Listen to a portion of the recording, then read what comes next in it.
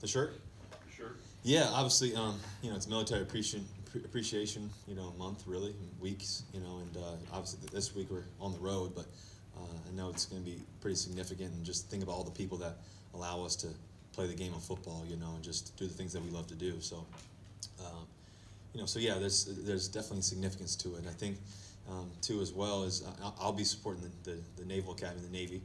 Um, so that's what I'm supporting, and then um, so that'll be that'll be cool too. Ugh. Why that choice? Uh, well, a few, a few different reasons. I think one, uh, we got Keenan on our team. Two, uh, just have we, we've had a lot of the Navy SEALs guys come in here. Just a lot of the people that you get to be around, and I've I've got, been able to um, become close friends with a few guys and stuff like that. So um, there's just appreciation there for sure. You made the wrong choice, by the way.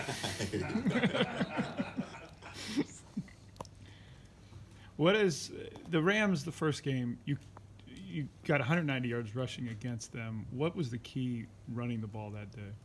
Well, I think we were playing physical at the point of attack the whole game, you know, and uh, we were able to run the ball really well.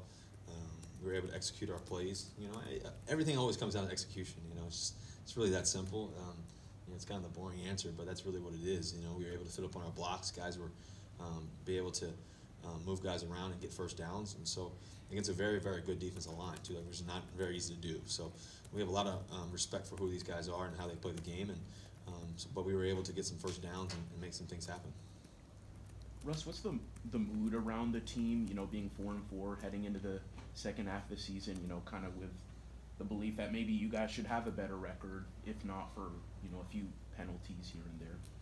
Yeah, I think the mood is, is, is locked in. You know, we got, don't have, I don't have time to be in a, a particular mood or anything like that. You know, right, right now we're in the midst of, uh, it's right in the midst of the journey. You know, there's a lot of teams.